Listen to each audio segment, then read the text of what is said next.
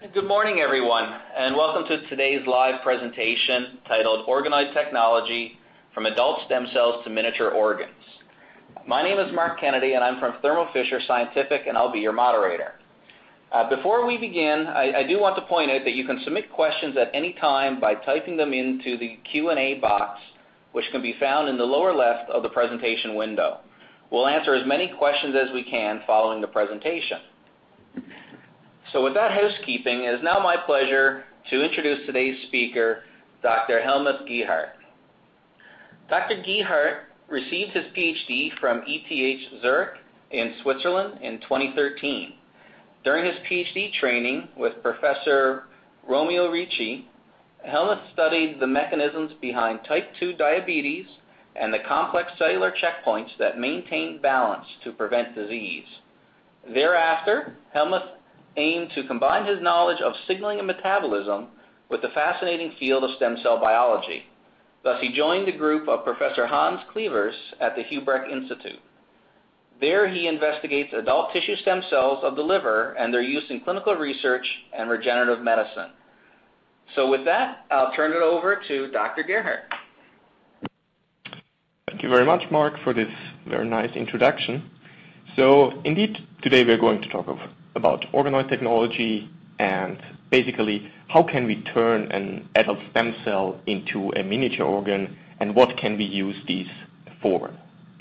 So when we talk about stem cells or stem cell applications, usually uh, people think about one of three systems. There are embryonic stem cells, uh, iPS cells, and of course, adult stem cells. Now, each of these systems has its individual advantages and disadvantages. To um, just summarize some of those, embryonic stem cells, for example, are highly expandable. That is, of course, very interesting also for regenerative medicine, where you uh, want to have enough tissue to transplant. And they are pluripotent. On the one hand, that is a good thing because um, you can basically make any tissue from these cells. But there is a certain dark side to pluripotency, and that is uh, tumor risk. Because when you, for example, transplant these cells and you cannot make sure that all of these cells are properly differentiated, um, you run the risk of creating a teratoma in your patient. Um, other concerns of embryonic stem cells are genetic stability. They are actually uh, known to have uh, relatively common chromosomal rearrangements. And last, but certainly not least, there are significant ethical concerns with derivation of these lines. Now, at least these ethical concerns have been uh, successfully overcome by the uh, creation of iPS cells. Like the embryonic stem cells, they are highly expandable, pluripotent, and they can actually be generated from adult cells. And that is, of course, a big advantage. The downside is, well, they are still pluripotent, which means um, that also there is a certain tumor risk uh, still present. They tend to acquire um, a relatively high number of mutations in culture, and very often, um, there are still viral vectors being used to introduce these so-called Yamanaka factors into the cells. Although, I have to say that there are more and more technologies evolving that actually make the use of viral vectors obsolete.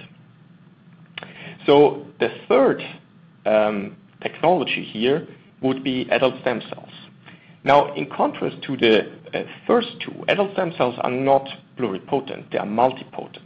And that means that they can make um, different cell types. However, they are limited to uh, differentiating into cell types of the tissue that this stem cell is actually coming from. So an intestinal stem cell will make intestinal cells. A liver stem cell will make liver cells. Um, for this reason, there is a significantly reduced uh, tumor risk in these cells because they just cannot um, basically de-differentiate that far. And they have what I call a short differentiation distance. And what I mean by that is that in, for an ES cell, you have basically go through the complete embryonic development to end up with a mature functional cell. For an adult tissue stem cell, you are basically only two or three steps away from actually turning the cell into a mature functional cell. Of course, there are also negative sides of adult stem cells. That is, isolation is invasive. So if you want an uh, intestinal stem cell, well, you need a piece of intestine. If you want a pancreas stem cell, you need a piece of pancreas. So basically, it involves a surgical procedure. And the other uh, downside that existed for a very long time was there was no way to actually expand these cells in vitro. And this is what actually changed with the um, development of organoid technology. Before we talk about organoids, let's talk more about adult stem cells. So in the Clevers Group, when we uh, think about an adult stem cell, we usually default to the intestinal epithelium, because the intestinal epithelium is just such a beautiful system to um, study adult stem cells. So this tissue turns over extremely quickly. So every four to five days, all the uh, cells in your intestinal epithelium renew. And that happens uh, in a way that new cells are constantly being generated in structures called crypts. These are uh, yeah, well, these crypt-like structures that are embedded in the intestinal wall, and these crypts contain stem cells. And these stem cells divide continuously, and more mature cells are being pushed upwards onto the villus. So this uh, structure that protrudes into the intestinal lumen is called the villus. And while these cells uh, move from the crypt to the villus, they undergo maturation um, until they die when they reach the top of the villus. So in this tissue, we have extremely active stem cells. In fact, they divide every day, um, but nevertheless, uh, they are maintained for your lifetime. And that was, in the beginning, quite, um, I would say, a revolutionary finding, because until then, um, tissue stem cells were always thought to be uh, quiescent, very rarely dividing to protect their genome. But it turns out in many tissues, this is actually not the case. While they're still protecting the genome, but um, they do divide very, very uh, frequently. Now, the identification of these intestinal stem cells was made possible by the work of Nick Barker um, in 2007. And What he did is that he developed um, an LGR5 knock-in mouse, and this was a reporter knock-in mouse. And what he found is that it marked a certain population of cells at the very uh, bottom of the crypt. Uh, you can see this here on the right side. And it turned out that these cells are indeed the intestinal stem cells. So they are nestled between um, another cell type, the so-called Paneth cells. They are much bigger, wedge-shaped cells, and they basically provide the uh, stem cell niche for the actual stem cells and uh, protect them from uh, infection, for example. So um, how can we actually prove that this uh, cell at the bottom of the crypt is the actual stem cell? Well, the best way to do that is lineage tracing. So to do lineage tracing, we need two components. On the one hand, we need um, a recombinase, a Cre recombinase in this case, that is specifically um, expressed in the cells that are our putative stem cells. So in this case, it would be a Cre ERT2 that is expressed under the LGR5 promoter. So what that means is when um, a mouse receives tamoxifen, this Cre is activated, can go into the nucleus, and can then uh, recombine LOXP sites. So these LOXP sites, this is the other component of the system, are around a transcriptional stop signal that prevents uh, LAGZ from being transcribed. So when this recombination happens in a cell, LAGZ can be expressed, and this the cell will appear blue in the staining. And not only the cell that expresses LGR5, but also all cells that are actually derived from this cell. So all offspring from these cells will be marked by LGR5. What we would expect is if we are indeed able to mark a stem cell, then we should see ribbons of cells going up the crypt-villus axis because we know this is how the epithelium in the intestine is moving. And in that, indeed, when Nick did these experiments, and you can see this here. These are three time points. In the very beginning, and there are only few cells marked. These are the actual stem cells in the crypt. And the longer he waits, I think this is like three days and then uh, one or two weeks, you can see that this, this ribbon of cells is moving Uh, uh, up the side of the villus out of the crypt. And the interesting thing is this was not just a short time labeling, but even a year or even two years, if the mouse lives that long afterwards, you can still find the same ribbons, which means these cells are not only continuously dividing, but they are also maintained over the lifetime of an animal. So the other question here would be then, do indeed all the intestinal epithelial cells come from the stem cells? In this picture, we can already see there are clearly enterocytes being marked, but also the other cell types of the intestinal epithelium. You can see here on the left goblet cells, uh, in the middle Paneth cells, on the right side, enteroendocrine cells are equally uh, blue, so indeed are derived from these uh, stem cells. So that was, in principle, the proof that these LGR5 cells are indeed the intestinal stem cells. Now we can do a little bit more sophisticated way of uh, lineage tracing and the stem cells that allows us to look at individual stem cell clones, if you want. And this is um, the so-called confetti system. Again, we have a Cre recombinase under the LGR5 promoter, but we have a different reporter construct here. So without a Cre activity, there is no uh, color expression. However, Uh, when the Cre uh, recombination happens, there are four different possibilities how this construct can recombine. And that can give us either a green cell, a yellow cell, a red cell, or a blue cell. And that allows us to look at um, the behavior of individual clones within a crypt.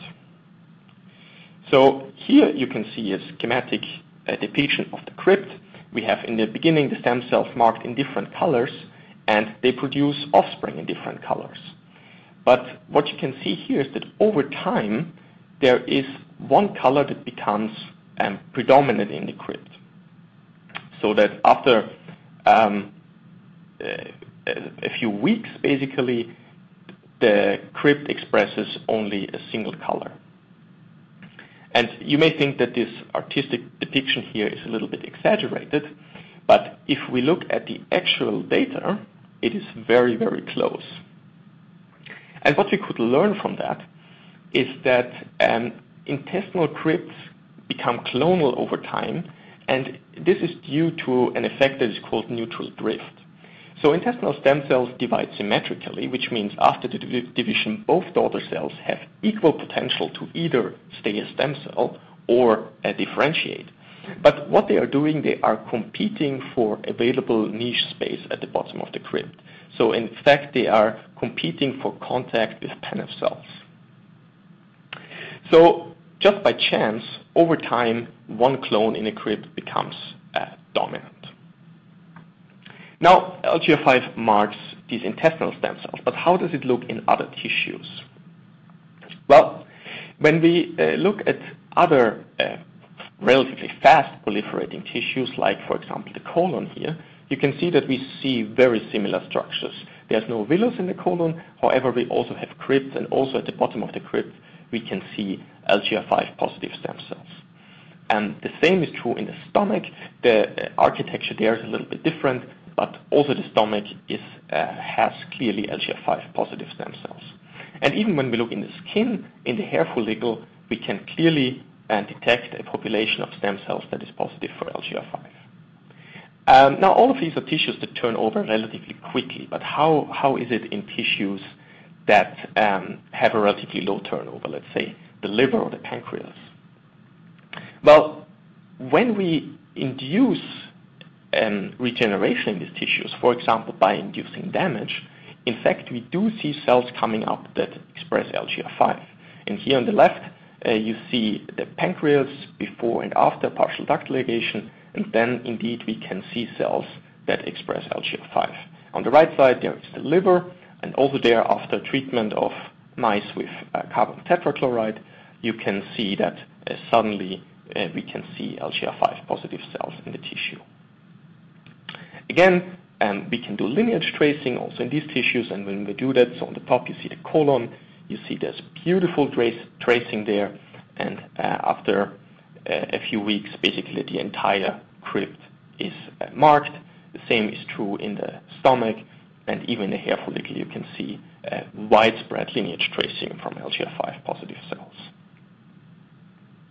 So what is this magical mm, protein LGR5? Well, it is very tightly Uh, connected to Wnt signaling. And uh, Wnt signaling is one of the most important, if not the most important, uh, signaling pathway in the intestinal epithelium. So basically, in the absence of Wnt ligands, beta-catenin is continuously destroyed by the destruction complex. That means it cannot go into the nucleus and cannot interact with TCF, which is inhibited by um, another protein called Gaucho. When a Wnt ligand binds to its receptor Frizzled and the co-receptor LRP, the destruction complex is inhibited. Beta-catenin can um, accumulate and uh, translocate to the nucleus, where it then binds to TCF and induces the transcription of Wnt target genes. Now, there are two extreme cases that Uh, illustrate the importance of this pathway for the intestinal epithelium. One would be um, constitutive loss of Wnt signaling, and this can be achieved, for example, by knocking out TCF4. Then, No matter whether there is Wnt ligand or not, you will not get a transcriptional response. And uh, when TCF4 is knocked out in the intestinal epithelium, again, you can see a time course here on the lower part of the slide. Um, On the left side, you can see with the Ki67 staining, uh, before a deletion of PC4, there are high levels of proliferation in the crypts. However, already three days after deletion, you can see that this proliferation is greatly reduced. And when we look seven days after the deletion, you can actually see that the intestinal epithelium is completely collapsing, and um, well the mice do not survive much longer than that. So clearly, Wnt signaling is an essential component of uh, the intestinal structure and intestinal proliferation. The other extreme would be not a loss of Wnt signaling, but actually constitutive activation of Wnt signaling. And this can be achieved, for example, by mutating APC. This is one component of the destruction complex. So no matter whether there is Wnt ligand or not, Uh, Wnt target genes are always expressed. So there is um, a group of patients that have uh, inherited uh, mutations in APC, and um, they have a syndrome called familial adenomatous polyposis, or FAP. And what is happening in these patients is that they develop hundreds, if not thousands, of adenomas in their intestines. You can see here, this is a picture of a colon from a patient. The colon would normally be completely smooth, but you can see every little um, knob that you can see here is actually an adenoma that has formed as a result of the continuously active Wnt signaling in these patients.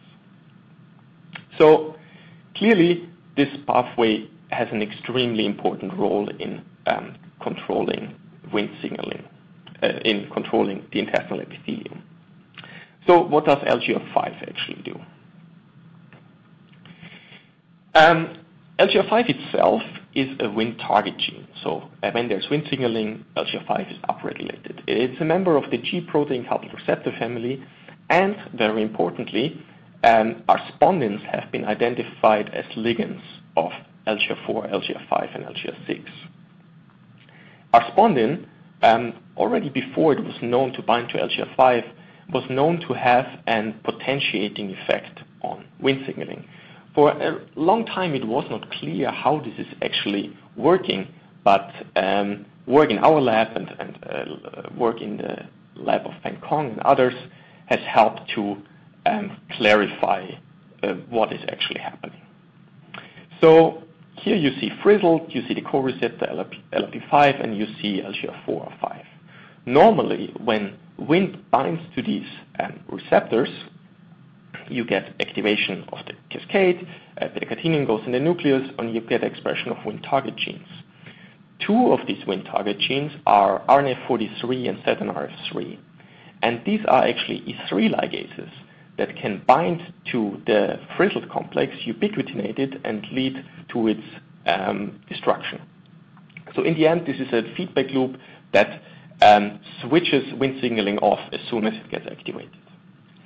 Now, when R-spondin is around, uh, R-spondin can bind to LGR5 or LGR4, and it, with the other domain, it can actually bind to RNF43 or ZNRF3. It can sequester those away, um, which basically leaves the activated frizzled LRP complex on the surface uh, intact and allows for continuous Wnt signaling. And this continuous Wnt signaling is actually necessary to maintain stem cells. So how do we get to organoids? Well, in 2009, uh, Toshiro Sato in the Clevers lab decided he uh, wanted to try to culture these intestinal stem cells in vitro. And to do that, he basically took uh, Nick's LGR5 GFB mouse, he sorted out the GFB high cells, and he embedded them in Matrigel. On top of that, he added a relatively simple growth medium. Basically contains epidermal growth factor, EGF, Noggin, which is a BMP inhibitor, and R-spondin 1, as I mentioned before, which is a Wnt potentiator. And in fact, this uh, medium is basically mimics the contribution that would usually come from the mesenchymal niche around the intestinal crypt.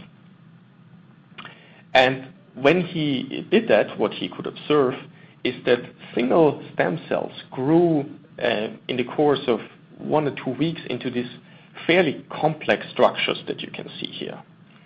And at the first glance, it may look um, chaotic, but if you have a closer look, you will see that um, these organoids or mini-guts resemble the um, epithelium in vivo actually almost perfectly. So, for example, when we um, have a look here at the organoid, we can distinguish both crypt domains, these are these protruding domains, and we can distinguish villus domains. So, of course, the organoid doesn't have a villus, but the, the rounded body of the organoid would, be, would correspond to, to the villus domain. In the crypt, we find, like in the uh, primary tissue, LGR5 positive stem cells, and you can even see here in this panel F that they are interspersed with PANF cells. These are these bigger cells in between the LGR5 positive cells. So they are rebuilding the niche in vitro. Then uh, you can see on the Ki67 staining that proliferation is indeed happening just in the crypts, not in the body of the organoid. And in the body, we will actually find more mature cells, um, different cell types, and eventually these cells, after four or five days, like they do in, vivo, will die um, until the organoid basically bursts open and releases um, the dead cells that accumulate in the lumen in the middle. So structurally, it already looks uh, like the intestinal epithelium, but can we actually find the different cell types there? And the answer is yes. So uh, we can for sure find here mature enterocytes. Uh, they are marked here by Villin. Uh, we can find goblet cells marked by mucin 2. We find PANF cells in these crypt-like structures marked by lysozyme, and we can find enteroendocrine cells here marked by chromogranin A. So indeed, um, these mini-guts uh, resemble the uh, epithelium in vivo in an uh, extremely um, comparable way. Important to mention here, these are purely epithelial cultures. So there is no mesenchyme there because, as I mentioned before, the factors that would usually be contributed by the mesenchyme are actually contributed by the medium. So that was the intestine, but can we actually do organoids from other tissues as well? Um, the answer is yes. So you can see four examples here. There are actually by now way more. So there are pancreas organoids, mouse pancreas organoids, mouse prostate organoids, and mouse liver organoids. And um, while they do differ in their medium requirements slightly, they all have in common that they need respondin, um, they need usually some form of BMP inhibition, and um, usually EGF. Uh, then it can be that you have to add a tissue-specific hormone, a tissue-specific growth factor to, to actually get them to grow. What you can see as well is that structurally these organoids are quite different. Now, um, having different uh, tissue organoids in a mouse was, of course, one important step, but more importantly would be to have organoids from humans. So that was an, a logical next step, indeed by now we can grow um, organoids from many, many epithelial tissues so we have established cultures for lung, liver, colon, breast, stomach, pancreas, small intestine, and prostate by now. And you can see here some human organoids, again, structurally very different. Uh, generally, uh, human organoids need slightly more complex media than uh, mouse organoids. Uh, very often, like TGF-beta inhibitors um, or uh, ex extra hormones that need to be added, uh, often some CAMP uh, stimulating factors. So usually the culture is a little bit more demanding, but uh, still very similar to what was originally established in the mouse. All these different organoid systems, what, do they actually have in common? What, what does define uh, what an organoid is? Well, a very important feature is all of them are untransformed. So they are grown usually from small biopsies, just put into, into the medium, and they, they will grow out. There's no need to add any uh, plasmids, any uh, factors that would transform them. They are three-dimensional, they grow in matrigel, and they have um, a realistic microanatomy. They are highly proliferative and expandable. That is for certain applications like bigger screens or regenerative medicine, of course, very important and they can recapitulate functions of the parent tissue. So, um, as, you, you've seen, intestinal organoids uh, produce all different cells, and these cells then secrete different hormones, for example, the enteroendocrine cells. Or um, a, a, liver organoid can be differentiated to make um, hepatocytes, and these hepatocytes then produce albumin, have cytochrome activities, and so forth. And the last point that is also very important is the organoids actually display a very high genetic stability in culture. So uh, stability that is in fact comparable to um, a cell in our body. Good. So what can we actually do with these organoids? So there are mostly four different, I would say, groups of applications for organoids. The first one would be uh, disease modeling, mostly, on the one hand, infectious diseases, but then also genetic diseases, of course, are very interesting to study in organoids. Um, second would be pharma pharmacological screens that can be, on the one hand, drug discovery, but on the other hand, it can also be personalized medicine to basically match a patient with the ideal drug that will actually help him. Uh, third, certainly regenerative medicine. Um, the expandability, the genetic stability, and so forth makes it very attractive for this application. And then last but certainly not least, cancer research, because when we can grow an organoid from healthy tissue, we usually can also grow organoids from the associated tumors. So let's start with some examples of disease modeling. Um, these are human gastric organoids uh, that you see here. Again, they grow from single cells into organoids, and they have this uh, structure similar to intestinal organoids, but not exactly the same. We can find almost all cell types of the stomach epithelium in these organoids. Um, there's actually one exception, and uh, you can see this in the middle on the right. Um, we still do not get parietal cells. We're actually now working on that. We made some progress there, but at least in the uh, protocol that is published so far, you will not get parietal cells. And these are the cells that would uh, normally cause the acidification um, of the stomach. Nevertheless, everything else is there. So um, we have a stomach epithelium that um, can be used for uh, for example, study the interaction with a pathogen. So this is um, exactly what uh, Sina Bartfeld did.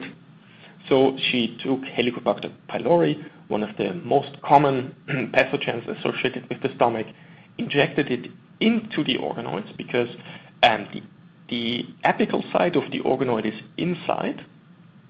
And you can see in the middle here, um, the Helicobacter being labeled with a GFP.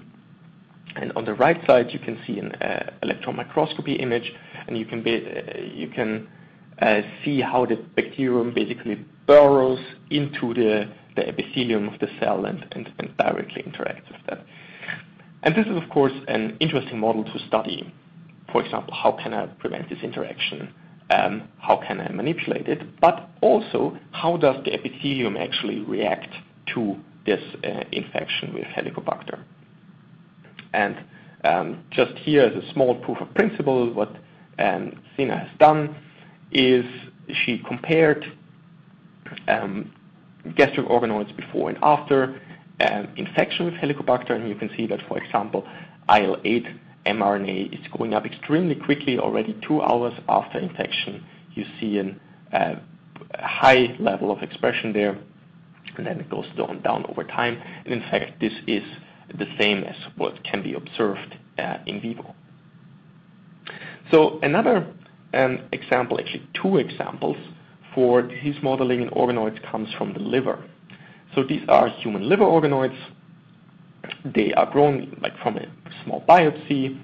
We can isolate stem cells, and these uh, grow then very fast, have a very high expansion rate. In fact, in like three or four months, you could grow the equivalent of a complete human liver just in cell number from um, a single stem cell.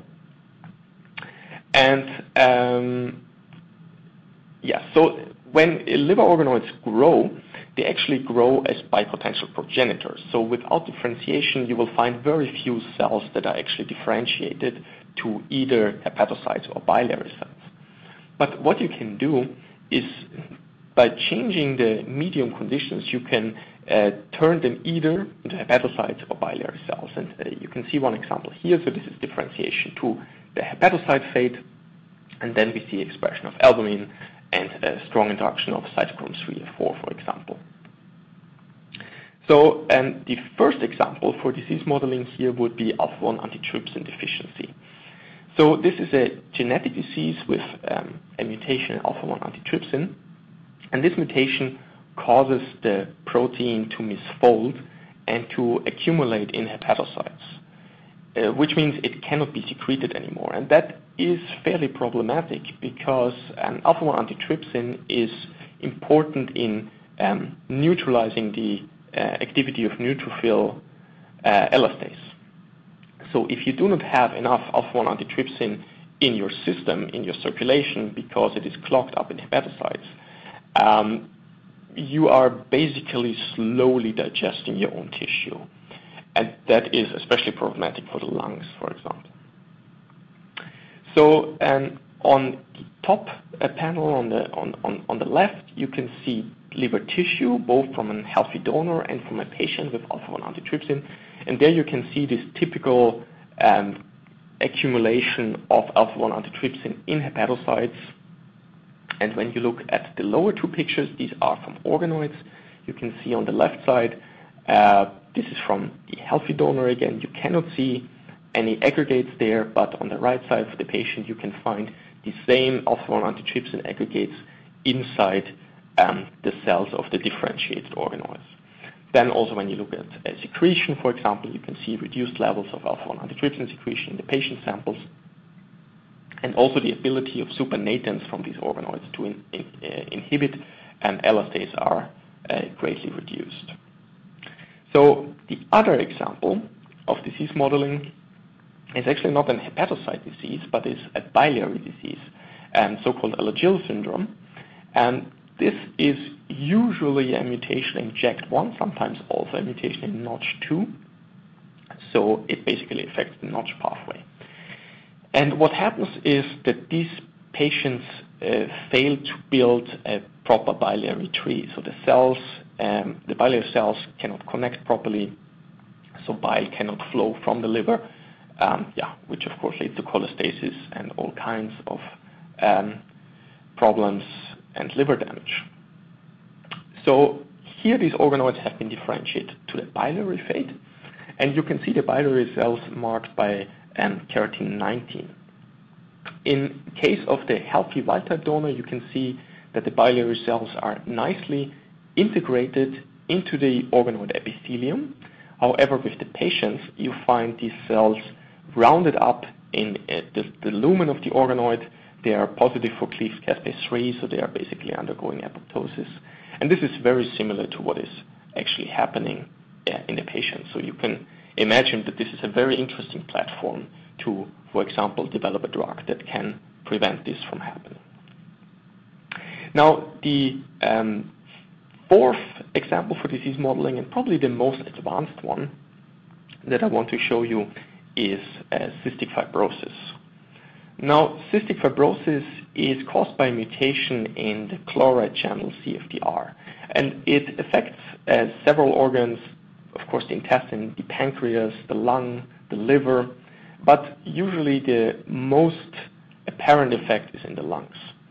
So CFTR controls how much water is being um, secreted, and that, again, controls the consistency of the mucus on top of the epithelium in the lung.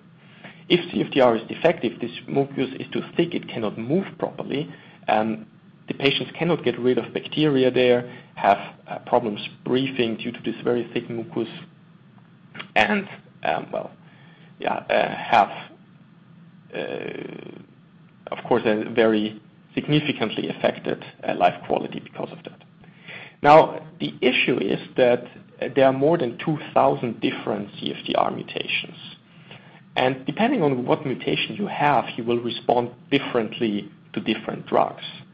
And even two patients that have the same mutation um, often do not respond in the same way to the same drug.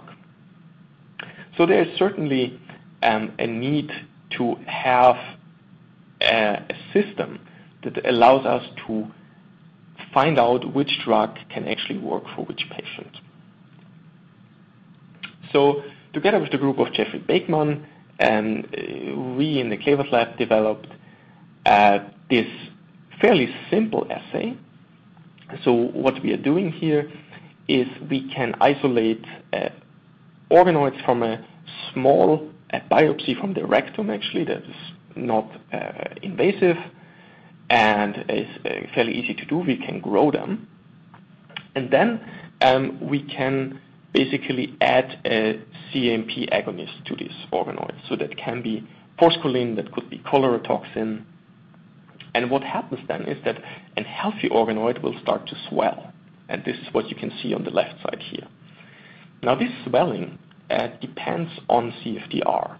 So if CFTR is not functional, there's actually no swelling. And this is what you can see on the right side uh, with the organoids of a cystic fibrosis patient. So this is a very simple, uh, very robust assay. So, and this is where uh, drug screening comes in now. So this was a study that was done for two drugs that were developed by Vertex, and they were specifically developed for the F508 mutation. This is one of the most common uh, mutations in cystic fibrosis. Obviously, drug companies have interest to develop uh, drugs for large patient populations. So what you can see, the upper row is T0. This is before the addition of forskolin. The lower row is T60. And You can see in the control, the um, patient organoids are basically not swelling at all, and on the very right side, the healthy control swells beautifully. Now, when we add one of the drugs, either VX-809 or VX-770, you can see there's a partial rescue. There is uh, some swelling happening, but when you combine both of them, you can see that uh, the swelling is basically indistinguishable from the wild-type organoids. That is a very nice proof of concept to show that you can successfully test a drug in uh, organoids in vitro. Now, um, actually, we are trying to go even further with that now. So I told you that there are more than 2,000 different CFTR mutations. And that means, unfortunately, that if you have a rare Uh, mutation that causes cystic fibrosis, there's a very high likelihood that there will never be a clinical test or a clinical trial that will test which drug actually works for your specific case. And There was uh, one fairly famous case here in the Netherlands of a young boy that had um, a very rare mutation. He actually only shared that with his aunt and um, was doing fairly badly. And uh, indeed, organoids were isolated from him and different drugs were tested. And surprisingly, it turned out that these organoids reacted very well to one of these uh, vortex drugs. So indeed, he received this drug in the end, and he got immediately better. So that is, I think, a very uh, impressive example that was also all over the news here.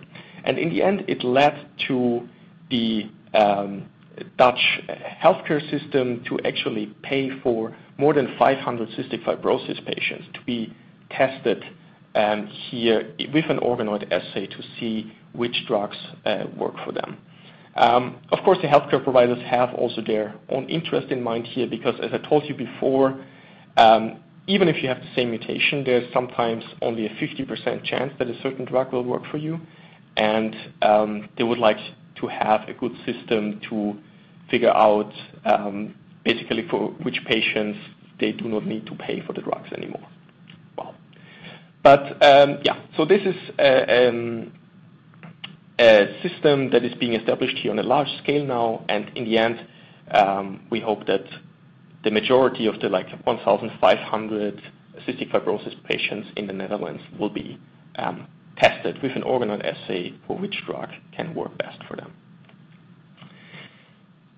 So that brings us to the next application, and that would be regenerative medicine.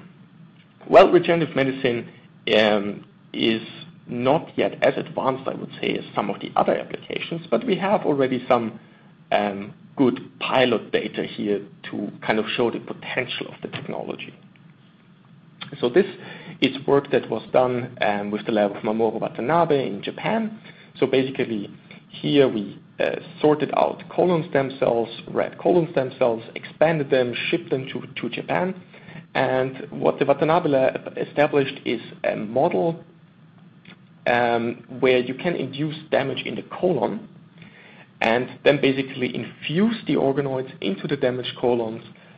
The organoids will home to the damaged regions and will actually repopulate the epithelium there. And this is what you can see here.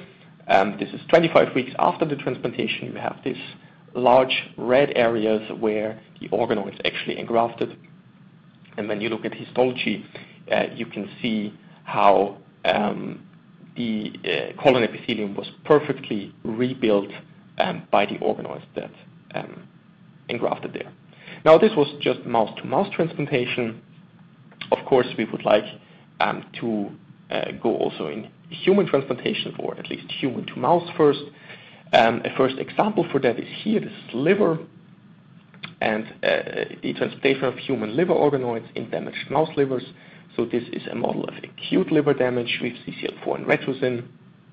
And when we damage the liver, then inject the organoids, we can actually see that we do get engraftment of organoid cells. Uh, the majority of cases, it is uh, just individual cells that engraft in the tissue, spread throughout the tissue, but sometimes you can also see larger areas of um, transplanted cells. So this is an, I would say, important proof of concept. I have to say that the efficiency uh, of the process is not where we want it to be yet, and we are actively working on um, getting much better engraftment efficiencies here to bring the system eventually to the human. Now, another important factor for regenerative medicine is also how uh, easy is it to use the system for uh, genome editing. And uh, this is one example here. So we are going back to cystic fibrosis here. So this was work done by Gerald Schwank, and what he did is he um, took organoids from a patient with cystic fibrosis. As shown before, they cannot uh, swell when uh, forskolin, for example, is added. And he uh, took these organoids, and he used the CRISPR-Cas9 system to actually um, repair the mutation that causes the defect in CFTR.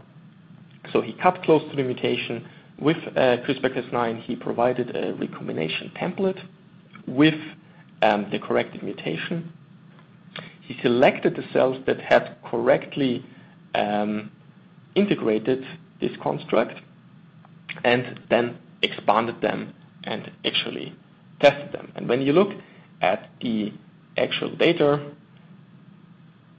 here you can see on the left side, these were the organoids before the gene was repaired, and on the right side, these were the organoids after the gene was successfully repaired. You can see the swelling is perfectly restored. So this is an important proof of concept that uh, genome editing can be done in organoids. And of course, that leads to uh, the possibility that we can combine these technologies. We have a patient with a genetic defect, let's say a genetic liver defect. We isolate stem cells from these patients. We use CRISPR-Cas9 to repair the mutation. We expand the repaired tissue and transplant it back to the patient. That would be, of course, the goal. So That brings me to um, the last point here, and that is cancer research. So, As mentioned before, when we can grow healthy tissue, we can usually also grow cancer organoids. And One thing uh, that you can do, of course, is creating cancer organoid biobanks. And this was work done by Mark van der Wetering, and uh, I think he used here tumors from uh, around 20 patients. By now, this biobank has grown to, I think, close to 200.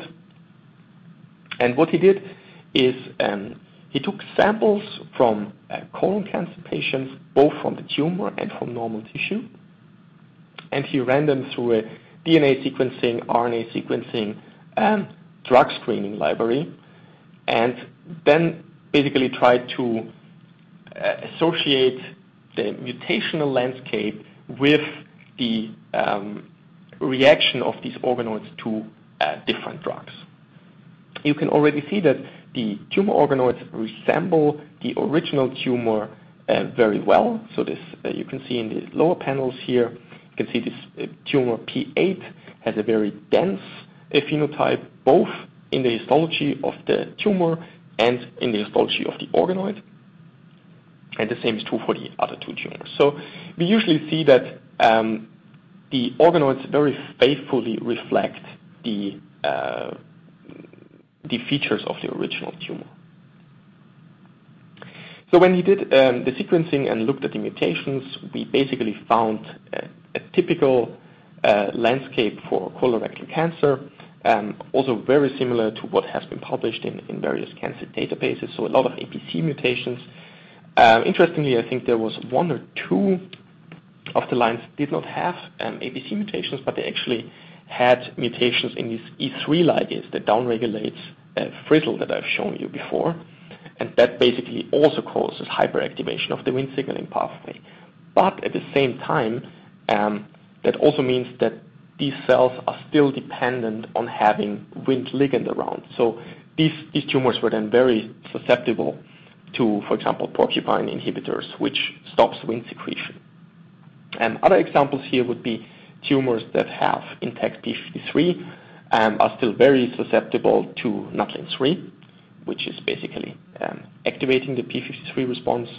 And uh, tumors with still wild-type KRAS are um, very susceptible to uh, cetuximab. And yeah. So these are, uh, I would say, an important uh, proof of concept to show that with such a biobank, you can actually um, make general conclusions about what mutational landscape will react to what kind of therapy. So, um, this all started with a colon cancer biobank, but um, by now we also have biobanks from breast cancer, ovarian cancer, and pancreatic cancer, and this is um, continuously expanding. I told you the colon cancer now has, I think, around 200 samples in there. And this is, of course, not only interesting for drug development. Of course, you can test your drugs on a huge panel of a living biobank, but it is also interesting in terms of personalized medicine. So basically, you can establish organoids from a tumor that usually goes fairly quickly, and you can test various drugs on these organoids and then decide basically which therapy strategy is likely to be the most beneficial one for the patient. Now, we can not only Um, create biobanks from tumor organoids, but we can actually go the other way to study cancer. So we take a healthy cell and turn it into a tumor cell. And this is work that was done by uh, Jan Drost here. And what he did is he used CRISPR-Cas9 to introduce known cancer mutations into a healthy organoid and basically looked at how, how are these cells changing and what really causes the Um, cancer in the end. So uh, the setup here is fairly simple. We use CRISPR-Cas9 to introduce mutations in APC. As I mentioned before, when you mutate APC, you have continuously active Wnt signaling. So uh, you can easily select for that by um, withdrawing Wnt and R-spondin, and only um, organoids that actually have mutated APC will be able to grow out. Then as a next step, he mutated uh, p53, a very important tumor suppressor, and he could easily select those by adding NUC3 to the medium. So cells that still have intact p53 will actually die. And at this point, um, basically, uh, cells do not have p53 anymore and are only dependent on EGF and Noggin uh, in the medium. Now, to remove the EGF dependence, he actually did a knock-in of a constitutively active um, KRAS. So this is a G12D mutation.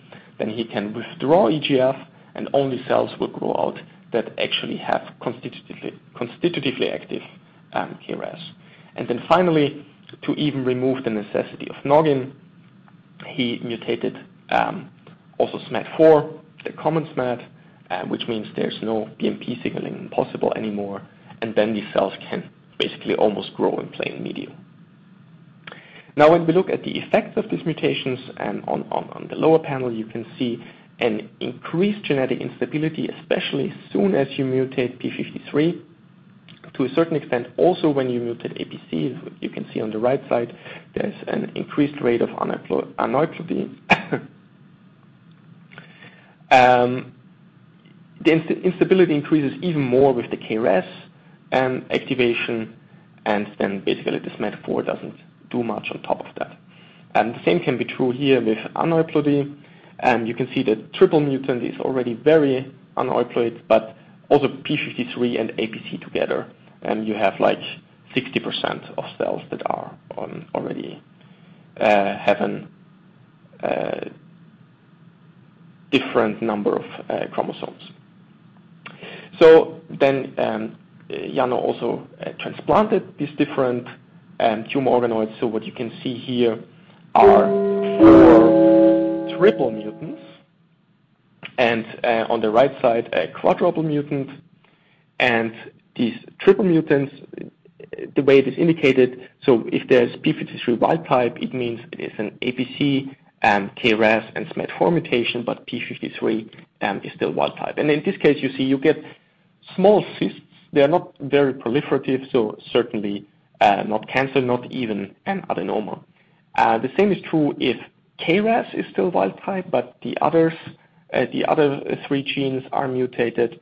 You have uh, some Ki67 positive cells in there, but for sure it is not very proliferative and certainly not invasive. Um, when just APC is wild type and the other three genes are mutated, Um, you get also uh, relatively small cysts here. But when we have uh, mutated APC, mutated P53, and um, constitutively active KRAS, you can see we get much larger structures here, and this basically resembles an adenoma. Only when we have all four mutations at the same time, this is what you can see on the very right side, we actually see a carcinoma. You can see that these Uh, tumor cells are invasive, and we can even find them, um, we can find metastasis from these cells in um, other tissues. So as you can see, this is a very interesting model to kind of uh, look at the stepwise progression of cancer from a healthy cell to an uh, invasive carcinoma. Yeah, and with that, I think um, I will just do a small summary of what we have been talking about. First of all, adult epithelial stem cells can be grown into organotypic 3D structures. They're called organoids. In our case, these are epithelial structures. Um, organoids have a broad usage for disease modeling, especially for infectious diseases, but also for many many genetic disorders. They can be employed for high-throughput screens, for drug discovery, and maybe even most interesting, for personalized medicine. They have very high genetic stability, they have fast expansion rates, and they can be um, used in the context of genome editing, which makes them very interesting for regenerative medicine. And Finally, cancer organoids or tumoroids, as some people call them, um, can be used to study cancer development, on the one hand, by the use of biobanks for drug discovery or personalized medicine, but also on the other hand, to actually look at cancer progression and what are the events that lead to uh, the formation of cancer. And with that, um, I only want to thank uh, many people. Um, the ones are listed here, Nick Barker, uh, Sina, Jano, Johan, Mary, Walter, Wim, Toshi, Gerald, Huon, Mark, are all people I showed you data from today. Um, but there are many many more that are involved here in the Clever Lab, but also in other groups to Um, improve organoid systems from all different kind of tissues. So many thanks to all the current and former members of the Clever Lab. Of course, many uh, thanks to Hans for being at the center of this organoid knowledge hub. And many thanks to uh, my collaborators, Jeffrey Beekman, who uh, does a lot of the cystic fibrosis work, um, Edwin Küppen, who does a lot of sequencing for us, Jaco, who does a lot of in vivo imaging, but also uh, transplantations for us, and um, Mamoru Watanabe, who was very important to establish this colon transplantation um, protocol. Yeah, and uh, with that, I want to thank uh, all of you for your attention, and if you have any questions, I will be happy to answer them. Thank you. Well, thank you so much, Helmut, for that great talk. Uh, you guys have really uh, put together quite the body of research over the last number of years, really making a lot of really making a lot of headway in driving the use of adult stem cells and organoid technologies. Um, so in the little bit of time we have left, I think uh, the operator said that there's nothing after us. So we do have a few minutes for questions, maybe maybe five to ten minutes. Um, I'm just going to feed you some of the questions that some of our attendees have have entered into to our system here, and uh, we'll see see how this goes. Um, so the first question for you, Helmut, uh, comes from Robert, and he wants to know, in your opinion, what are some of the major barriers that must be overcome to foster a more widespread adoption uh, for the use of, of organoids? Hmm. I see. Yes. Um, I think this is uh, probably twofold. Uh, first, I would say the getting into organoids is is quite a commitment. Um, it is certainly um, a technology that you have to establish well. You have to make sure that, for example, all your medium components are working correctly. That, I would say, it becomes easier and easier because there are basically ready-to-use um, media and so forth available. Um, but it is still, I would say, a certain barrier of entry. The second one is to actually get your material. So um, for researchers, I would say it is usually easier because we can, if we have a good Um, collaboration uh, with, for example, um, um, a hospital close by, you can always get biopsies, tissue samples, and so forth. But for companies and so forth, this can be more difficult. For this reason, we actually set up at the Hüblich Institute here the Hub for Organoids, which basically, on the one hand, acts as a biobank that can distribute different organoids to um, places all over the world. But most importantly, it also acts as an interface with, uh, well, other academic groups, but also with uh, industrial partners that are interested in getting into um, organoid research. And they can then provide um, not only tissue, but also training and all the uh, tips that you need to know to have a healthy organoid culture. So I think, yeah, it is the ease of access to material and ease of access to the, I would say, the factors that will guarantee that you have healthy organoids in terms of well-working media are the main barriers to get further into that. Thanks. Um, the next question we have here Uh, wants to know, uh, are you aware of any example of any cartilage organoids that can more closely represent cartilage stratification other than the usual pellets or micromasses that are obtained using mesenchymal stem cell centrifugation and exposure to chondrogenic media? Hmm, hmm, hmm. Um, uh, unfortunately, I think this will be a relatively short answer because no, I'm not aware of that. But um, at the same time, I have to say um, we here are are focusing on epithelial organoids. So all of our organoids so far are uh, pure epithelium. Um, what is is done with other systems like iPS organoids and so forth, this you have, of course, a broader range of cells in there. But all our organoids are epithelial. So uh, cartilage, unfortunately, doesn't qualify there. So no, I'm sorry, I'm not aware of any other systems there. Right. Okay. Um, another question we have is, uh, can you tell me if stem cells obtained from fetal tissue are suitable for organoid technology? Is there any idea of special markers for this type of stem cells?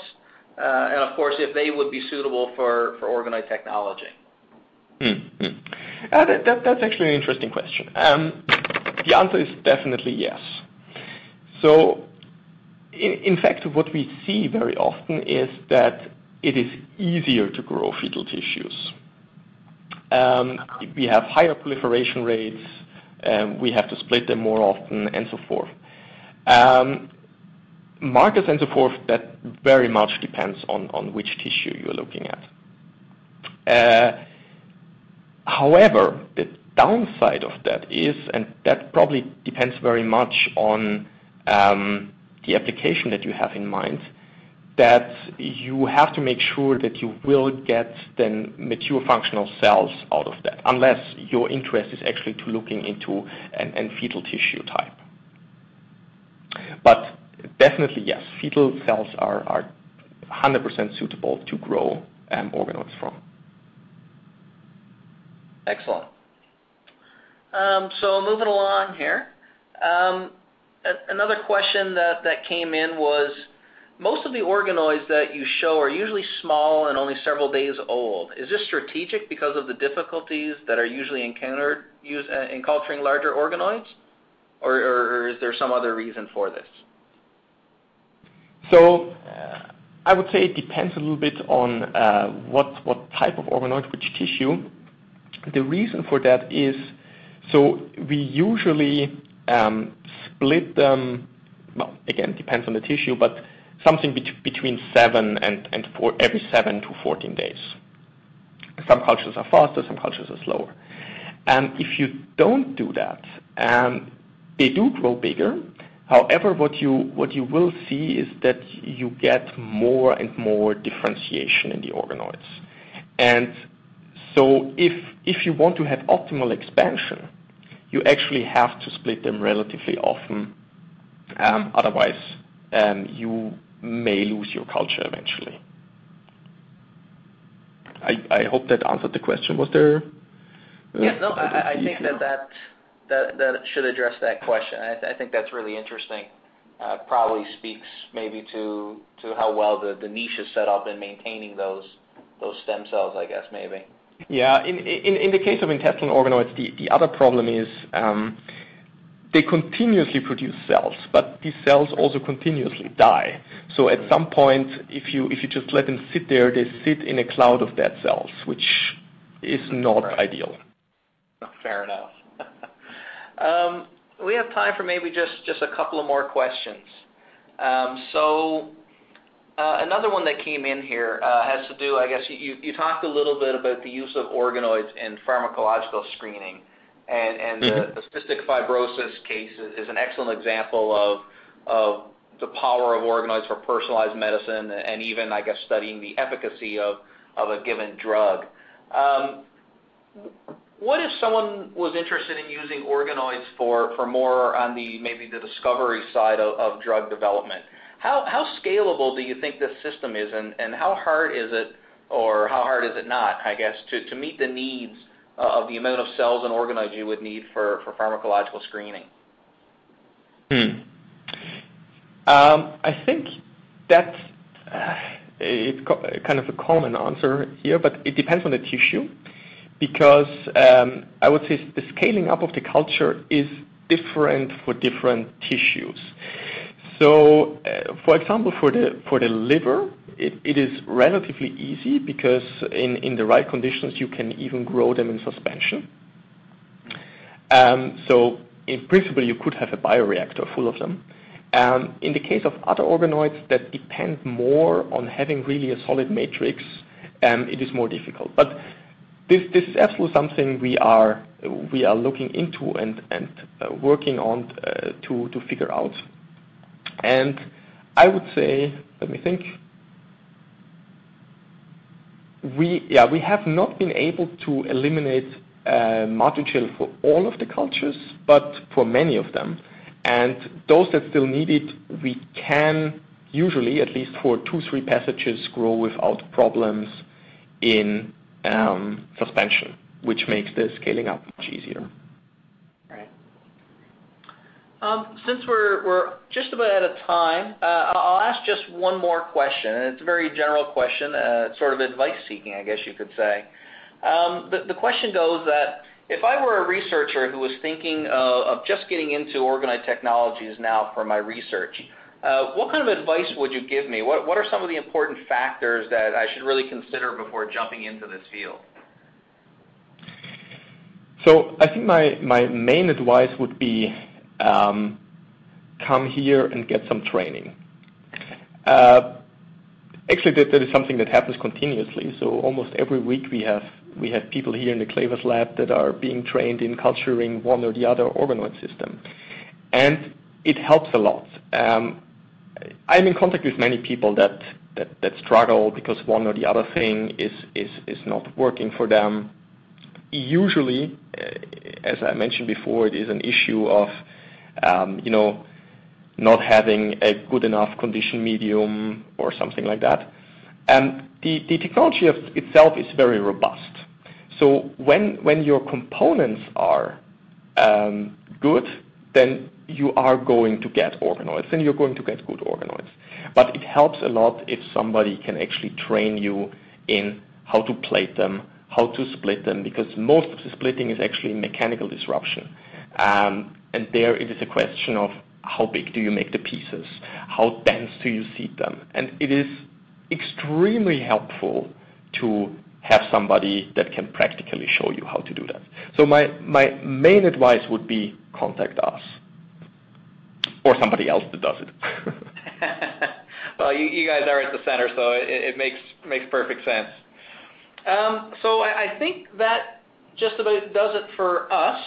Once again, I'd like to thank you, Dr. Gehart, for taking the time to, give us this presentation and, share some of your thoughts and opinions uh, on organoids.